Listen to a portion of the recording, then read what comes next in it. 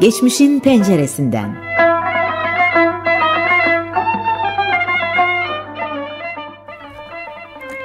İyi akşamlar kıymetli dinleyicilerimiz. TRT Name'de Geçmişin Penceresinden programından sevgiyle selamlıyoruz sizleri. Programı hazırlayan ve sunanlar Hüseyin Kıyak ve ben Sinem Sevindik. Teknik yönetmenimiz Hayrettin Özdemir. İstanbul'dan gerçekleştirdiğimiz yayınımızla yine bir saat boyunca sizlerle olacağız. Geçtiğimiz hafta takip edenler biliyorlardır ama yine de hatırlatalım. Vecdi Seyhun'u konuşmuştuk ve bitirememiştik. Yine Vecdi Seyhun'la devam edeceğiz. Bestekarlığından bahsettik, icralarını dinledik ve şimdi bunların yanında farklı özellikleri var elbette. Onları konuşacağız, devam edeceğiz.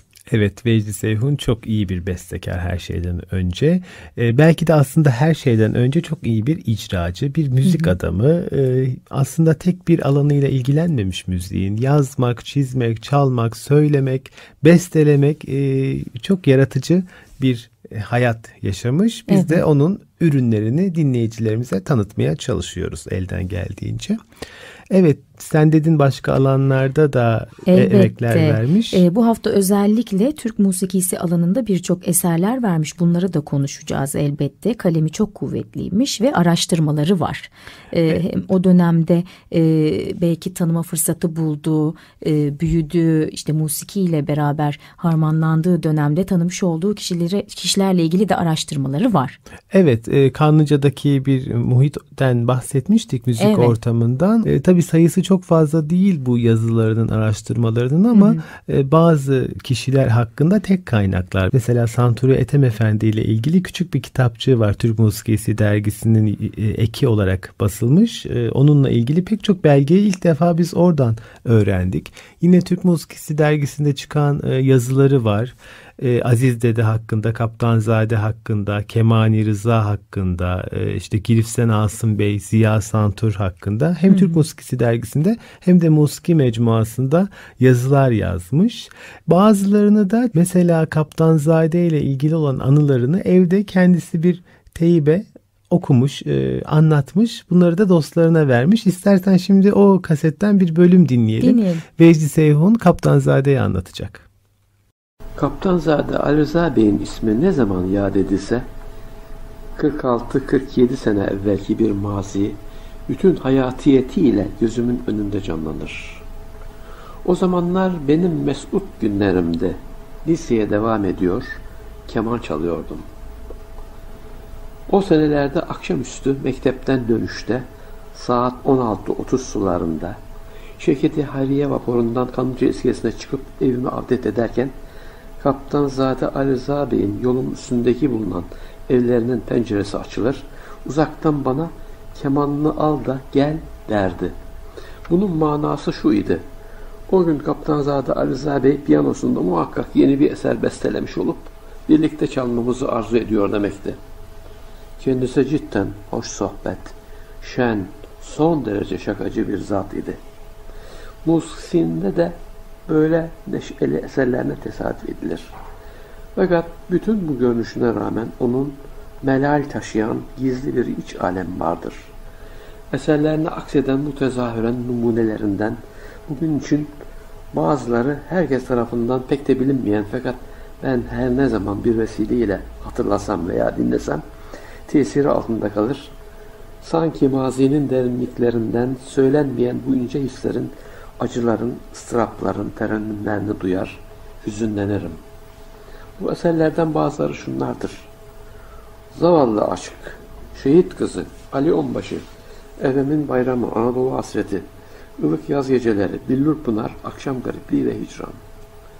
Söylemiş olduğum bu musiki eserlerinin hemen ekserisi armonize edilmiş olup orkestra ile çalınmış bir kısmını Seyyan Hanım Kolombiya plaklarını okumuştur.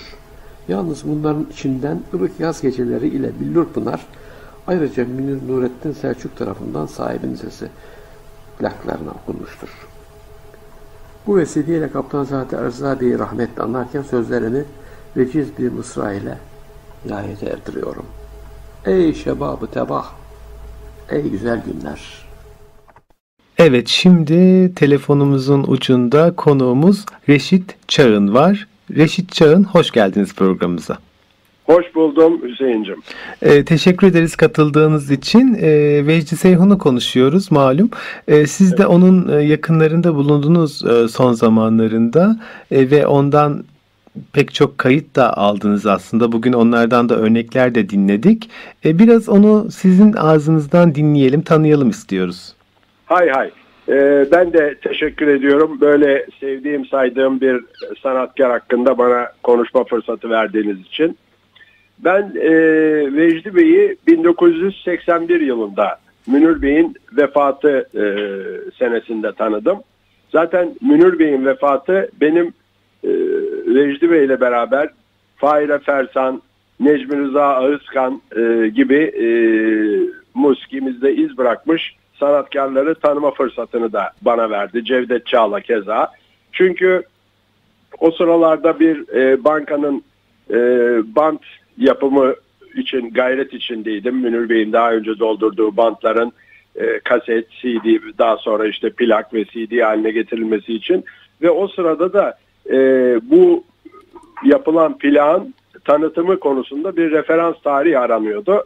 Ben de Münir Bey'in unutulmaz 1930 e, Fransız tiyatrosu konserinin tarihini araştırmaya başladım.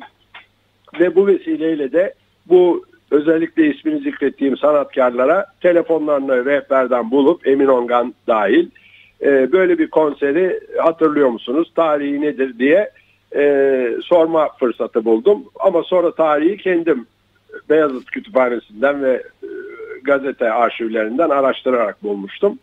E, velhasıl bu benim bu değerli insanlara ulaşmama bir vesile oldu. Yani Münir Bey daha doğrusu vesile oldu. Daha önce kendisiyle de tanışma onuruna eriştiğim.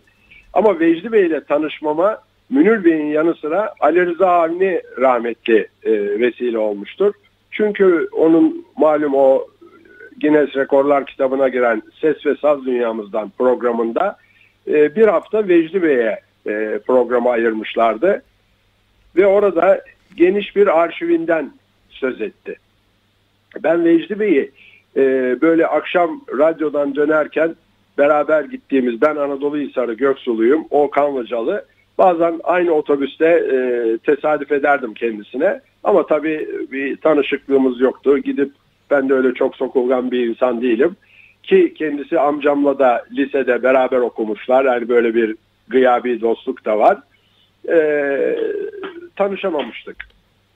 Bu bilgi üzerine Vecdi Bey'e bir mektup yazdım. Dedim ki ben Türk müziğine çok meraklı bir sanat severim. Ee, özellikle de Münir Bey'i çok seviyorum. Acaba sizin arşivinizden yararlanma e, imkanını bana sunar mısınız? O sırada da ben Deniz Harp Akademisi'nde okuyordum kurmaylık eğitimi için. Yani sürekli İstanbul'dayım. Yoksa denizci olduğum için İstanbul'da bulunma e, şansım nadirdi. Bir hafta sonra kendisinden bir telefon aldım. Beyefendi mektubunuzu aldım. Sizi kullanılmamış iki kasetle yarın bekliyorum diye. Cuma günü aramıştı. Cumartesi için. Kaçta teşrif edersiniz dedi. Ee, on buçukta gelirim dedim. Tam on buçukta zilini çaldım. Kanlıca'da çok güzel bir yalıda oturuyordu. Dedi ki öncelikle sizi tebrik ederim. Randevularda artı eksi beş dakika e, müsamaha ile karşılanır. Bunun dışında e, hoş değildir. Siz tam dakik olarak geldiniz dedi. E, bu bile bir eski İstanbul terbiyesinin örneğiydi benim için. Randevulara sadakat, karşısındakine saygı bakımından. Saygının zaten e, şaikasını onda gördüm.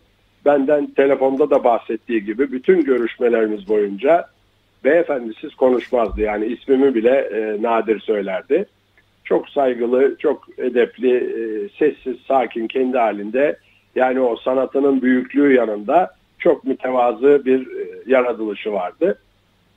Ee, kullanılmamış iki kaset de ben içimden doğrusu bir garipsemiştim. Yani ne anlama geliyor diye. Onun hikmetini sonra anladım. Şimdi oturduk ve bir bir başladı Münir Bey'in taş plaklarını çıkarmaya. Çıkarıyor, pikaba koyuyor o arada kaseti e, de takmış oluyor tabii. Pickup çalarken kaseti de rekorduna basıyor. Plak bittikten sonra e, stop ediyor ve bir süre kaseti boş olarak çeviriyor. Hani e, bu bile bir sanat zevki. Öbür türlü dinlediğiniz zaman bir eser bitiyor, saniyesinde diğeri başlıyor. Halbuki bu, bu şekilde bir boşluk bırakarak onu o nedenle kullanılmamış kaset demiş. Kullanılmış olsa arada başka sesleri duyacaksınız. Ve hiçbir gün işte bu 81'den 84'e kadar vefatına kadar devam etti. Bir gün bana bir şey yaptırmadı. Ben böyle tabiri caizse sultanlar gibi koltuğumda oturuyordum ve çok güzel çay demlerdi. E, dakikasıyla bana o zaman e, söylemişti. İşte çok güzel pastaları vesaire. Yani o nefis boğaz manzarası önümüzden gemiler geçiyor. Bir tarafta Münir Bey hiç dinlemediğim yeni eserlerini taş plaktan ondan dinliyorum. Bir taraftan da bu nefis ikramlarla çok zevkli saatler geçirirdik. Bütün plaklarını bana kaydetti bu şekilde. Daha sonra e, bir işte bu 84'ün e, Mart ayında hemen hemen her hafta gidiyorum. Yani kayıt için, kayıt olmasa da sohbet için. Bazen ben bulduğum bir şeyleri ona götürürdüm. E, büyük bir Münir Bey hayranıydı. 25 yıl Münir Bey'e refakat etmesiyle her zaman iftihar ederdi. Böyle bir sanatkar bir daha gelmez derdi. Mesela o hastayım, yalnızımın meyanını Münir Bey'den başkası bu şekilde okuyamaz derdi. Ee, bu şekilde e, kayıtlarımız devam etti. O Mart ayında gittiğimde rahatsızdı. Böyle hararetli bir şekilde sobası yanıyor ki hava ılıman bir hava. Ben grip zannettim. E, bana makara teybini ve makara bantları verdi. Beyefendi dedi bunları ben size e, görüyorsunuz hastayım e, şey yapamayacağım kayıt yapamayacağım siz bunları alın götürün. Evde kaydedersiniz. Getirmek için de acele etmeyin. Hatta getirmeseniz de olur dedi. Ben e, işte bir hafta geçti gene hafta içi eğitimdeyim. Cumartesi günü e, dedim gene bir ziyaret edeyim. Bakayım sağlık durumu nedir. Yürüyerek zaten gidip geliyorum Hisar'dan. Kapıyı çaldım. Hemen o yukarıdan e, açar camı ve otomatiğe basar.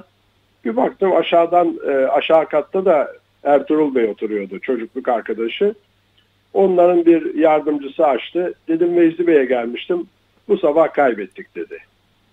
Ve maalesef o acı haberle sarsıldık tabii. Ee, ertesi gün e, işte gasil işlemleri yapıldı. Aldık radyoya gittik. Radyoda bir Muzaffer Birtan çıktı kapıya birkaç kişi daha ama tanıdık sima değil herhalde orada görevlilerdi. O şekilde bir Fatiha okundu. Ayrıldı geldi. Yani e, radyo Vecdi Bey için çok önemliydi. Ayrıldığı, emekli olduğu tarihi yıl, gün, ay olarak e, sayardı. O kadar e, hafızasında yer etmiş. Bir annesinin vefatını bir de radyodan ayrıldığı günü böyle tarihiyle e, her gün anardı. E, o şekilde bir veda doğrusu bizi hüzünlendirdi. Ama bu o, o dönemin bir şeyi demek ki eksikliği diyelim. Radyolarımız her zaman işte böyle anma programlarıyla e, sanatkarlara vefasını gösteriyor. E, Ertuğrul Bey dedim. Ertuğrul Bey'de bizim Anadolu Hisarı'nda Balıkçı Ahmet Bey yalısı vardı. Balıkçı Ahmet Bey'in damadı Ertuğrul Bey. Vecdi Beylerin e, yalısı 1940'larda yangın geçirip ki bütün arşivi filan da yok olmuş maalesef. Geçirdiğinde Ertuğrul Bey Vecdi Bey ile annesini almışlar kendi yalı, yalılarında misafir etmişler. Vecdi Bey'in yalısı yapılana kadar. Sonra ben çocukken 60'ların 62 filandı galiba e, Ertuğrul Beylerin yalısına bir Rus gemisi çarptı. Yalı tamamen yıkıldı. Onlara bir şey olmadı. Sadece yalı bekçilerinden birinin benim de arkadaşımdı. Oğlu duvarın altında kalarak vefat etmişti.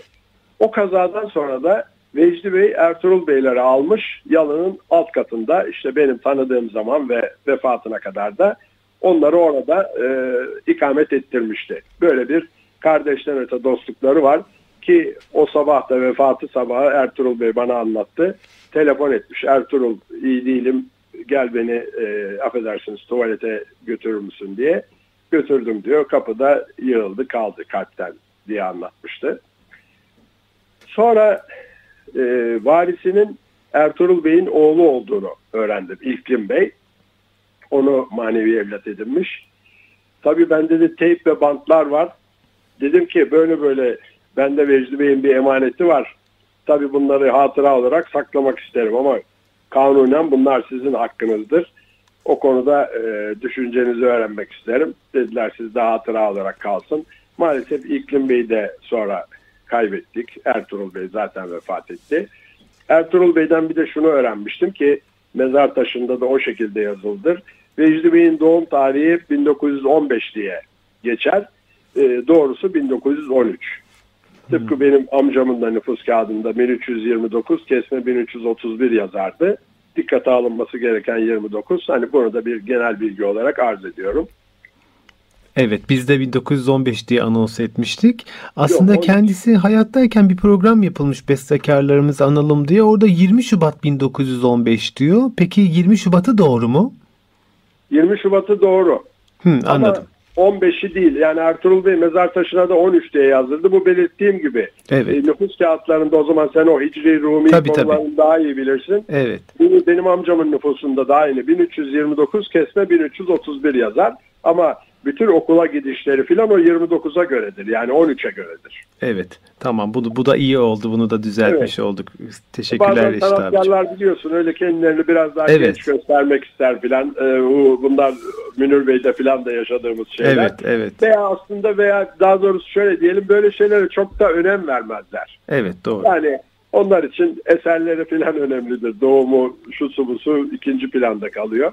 Evet. Ee, Necdi Bey e, çok sevecen, sevecen, sevgi dolu bir insandı ama bunu çok fazla belli eden bir insan değildi. Demin de belirttiğim gibi yani içine kapanık, mütevazı. Evet. Çok sevdikleri arasında Allah rahmet eylesin yani beni de sevmişti.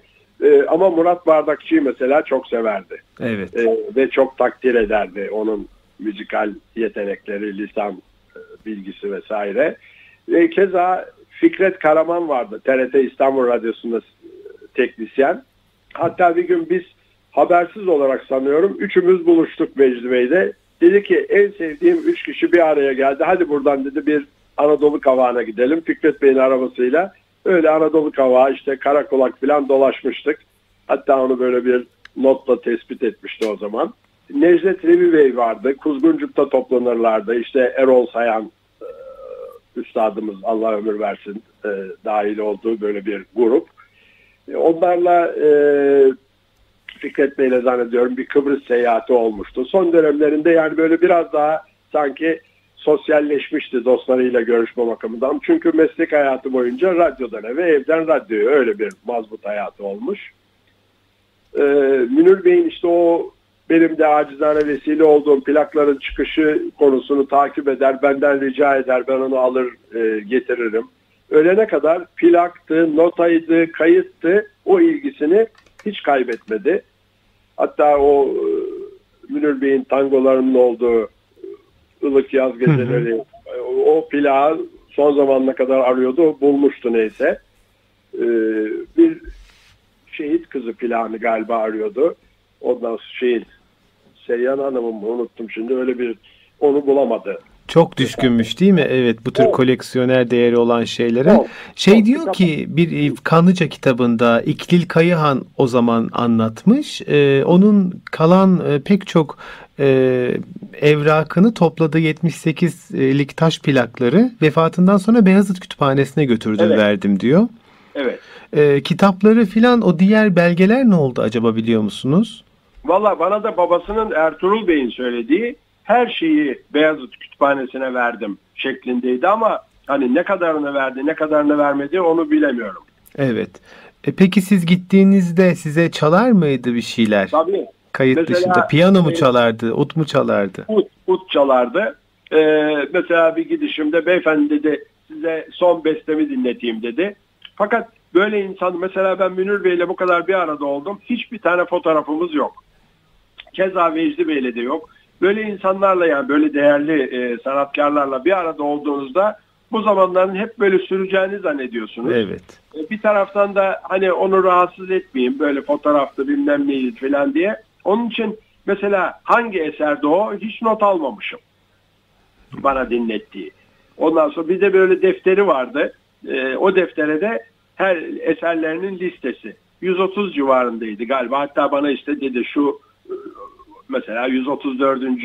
eserim size onu dinleteyim diye. E, onu dinletmişti. E, bir sistemi de şuydu. O da genelde bütün bestekarların sistemidir. Belirli birkaç eserim var. Onları çalıp duruyorlar.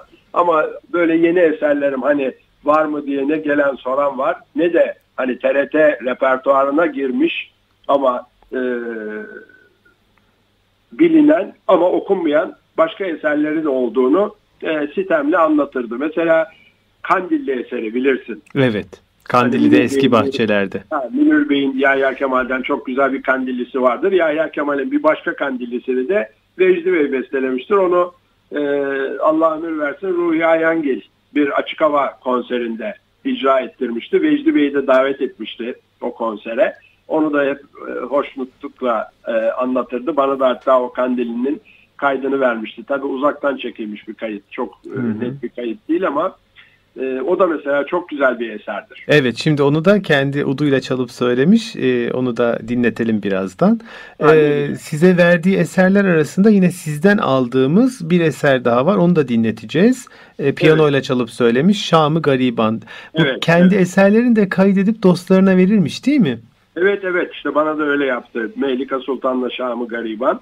Hı hı. Ee, öyleydi yani çok verici bir insandı bir defa. Evet. Elindekileri e, dağıtmak bakımından.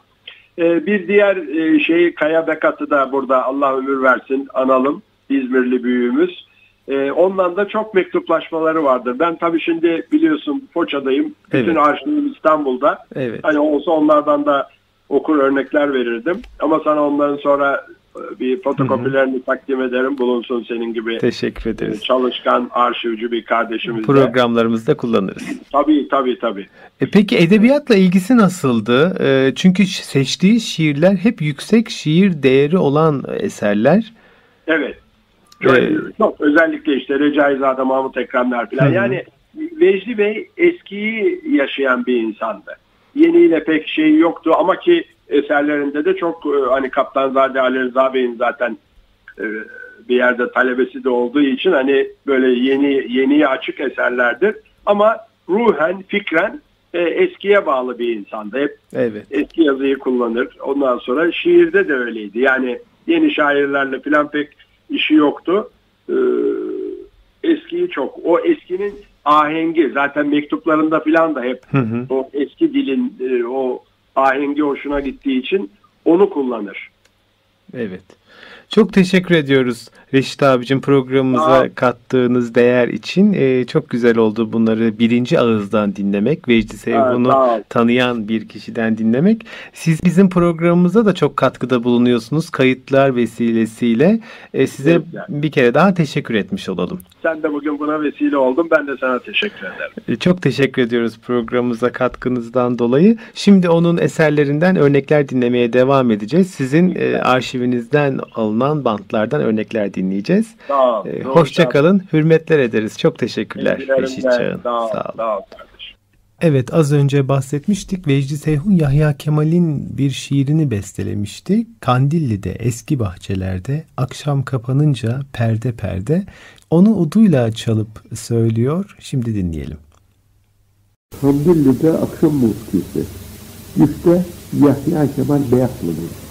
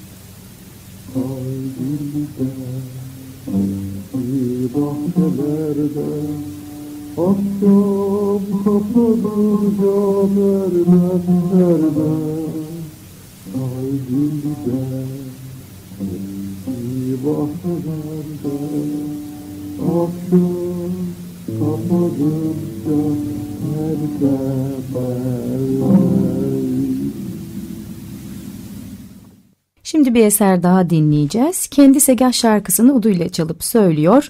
Başta kendisi anons ediyor. Segah Fantezi şarkı. Bekleyen Deniz. Güftesi Erol Soyan Bey'in.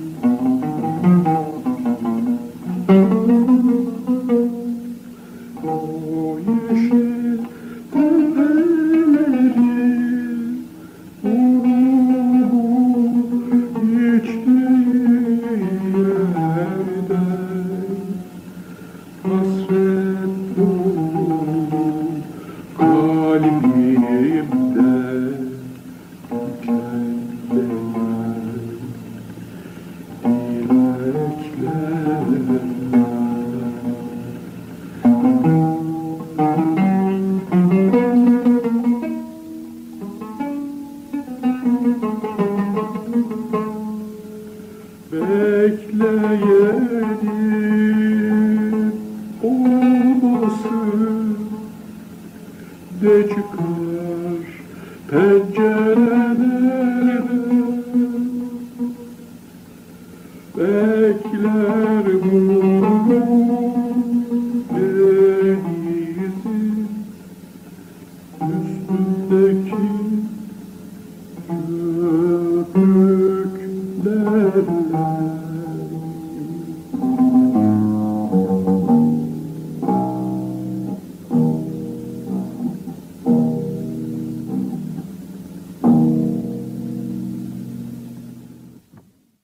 Evet şimdi de onun Cenab Şahabettin'den bestelediği bir eseri dinleyelim. Aslında birazcık e, Vecdi Seyhun'un bestekarlığından ve e, güfte şairleri seçiminden de konuşmamız lazım. Hakikaten hep sanat değeri olan şiirleri evet. seçmiş. Şairlerin şiirlerini seçmiş bestelemek için. İşte Yahya Kemal, Cenab Şahabettin e, bunlardan bazıları. Evet.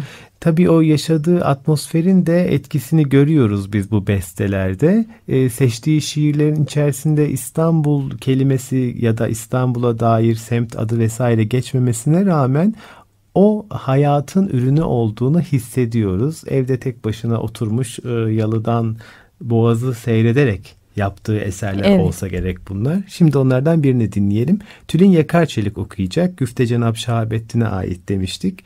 Bağ gölgelenir, güller açar bülbül öterken. Hak sanki yaratmış seni bir yaz gecesinden. kıymetli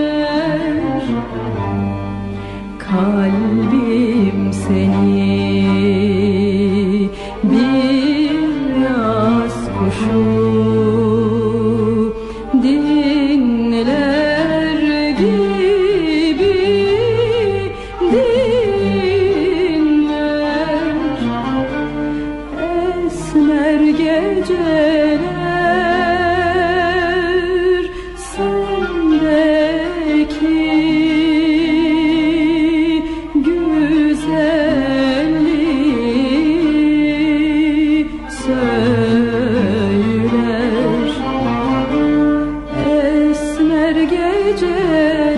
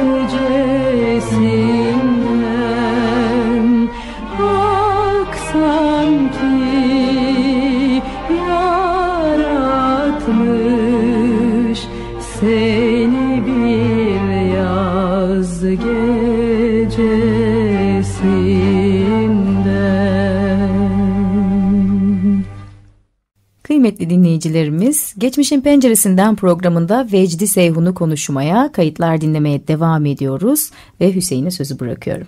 Evet, Ayla Büyük Ataman'dan yine nihavent bir şarkı dinleyelim. Tek yıldız parlamıyor bu gönül gecesinden.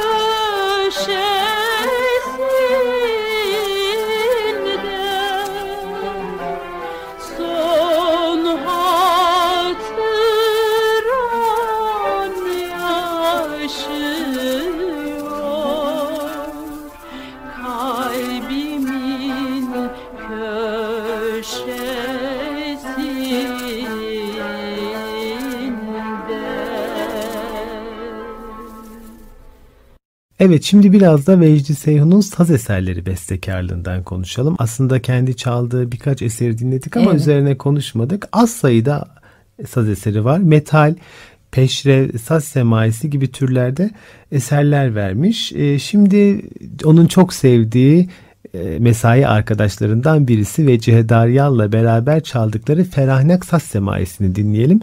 Vecdi Seyhun piyano çalacak. E, Vecihe Daryal da malum kanunla refakat edecek. Eserin beste tarihi 1 Temmuz 1953.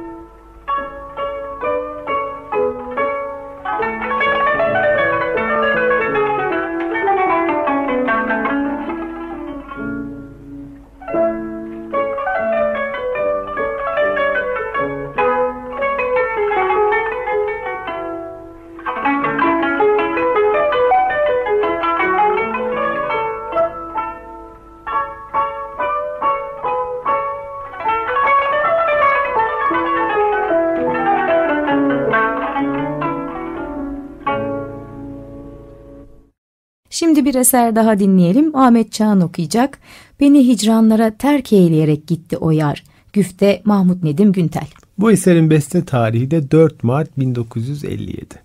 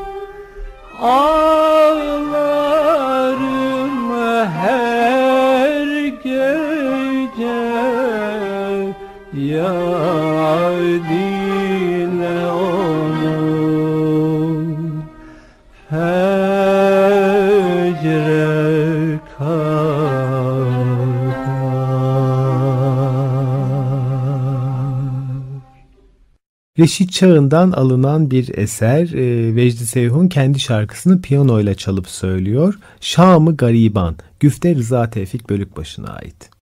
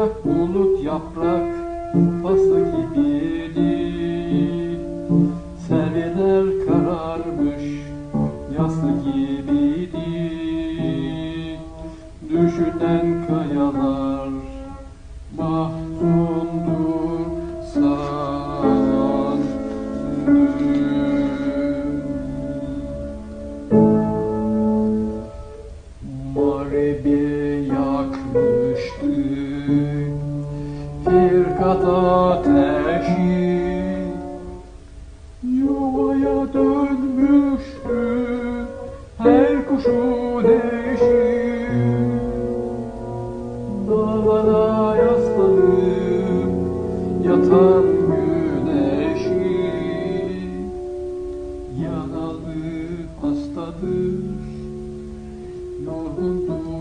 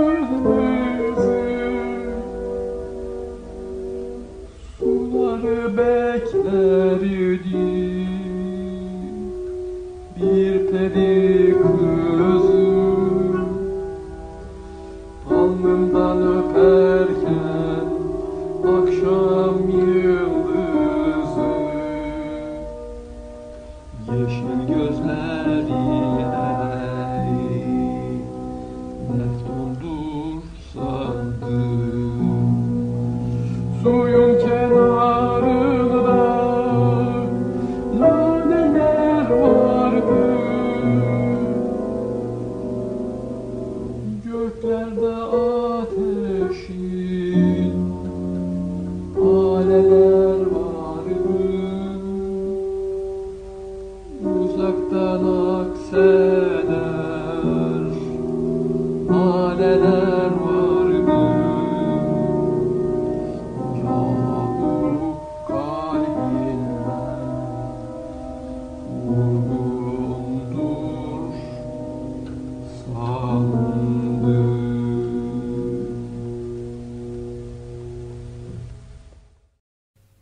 Sevgili dinleyicilerimiz yine programımızın sonuna geldik maalesef. Mecidi Seyhun'u konuştuğumuz bir programdı. Aslında onun için yaptığımız ikinci programdı. Ve çok teşekkür ediyoruz sizlere bizlere eşlik ettiğiniz için. Evet Vecdi Seyhun'u hakikaten güzel kayıtlarla yad etmiş olduk. Onun evde tek başına kaydettiği özel kayıtlar, nadide kayıtları dinletmiş olduk. Evet. Ee, bakalım belki bir program daha yaparız. Ee, kayıtlara bağlı, elimizdeki kayıtların dökümüne evet. bağlı. Üzerinde konuşulacak çok şey var. Umuyorum bir program daha hakkında. olur. Evet. Ee, ve yine önümüzdeki hafta sizlerle olacağız elbette sevgili dinleyicilerimiz. Geçmişin Penceresinden programında hazırlayan ve sunanlar ben Sinem Sevindik. Ben Hüseyin Kıyak. Teknik yönetmenimiz Hayrettin Özdemir. İstanbul Radyosu'ndan gerçekleştirdiğimiz yayınımızla sizlerleydik. Tekrar görüşmeyi diliyoruz. Hoşçakalın. Esen kalın.